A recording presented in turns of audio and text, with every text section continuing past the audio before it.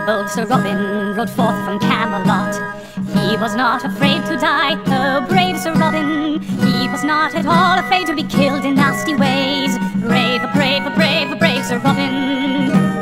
He was not in the least bit scared to be mashed into a pulp. Or to have his eyes gouged out and his elbows broken. To have his kneecaps split and his body burned away. And his limbs all hacked and